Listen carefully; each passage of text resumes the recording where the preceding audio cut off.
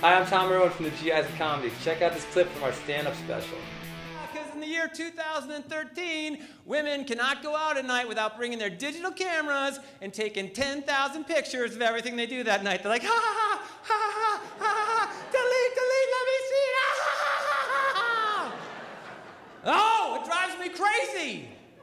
Because I didn't get 10,000 chances when I was growing up. No, I got 36, 24, or 12. That's all I got. Yeah. Ah, remember? Yeah. And for all you young people that have no idea what I'm talking about,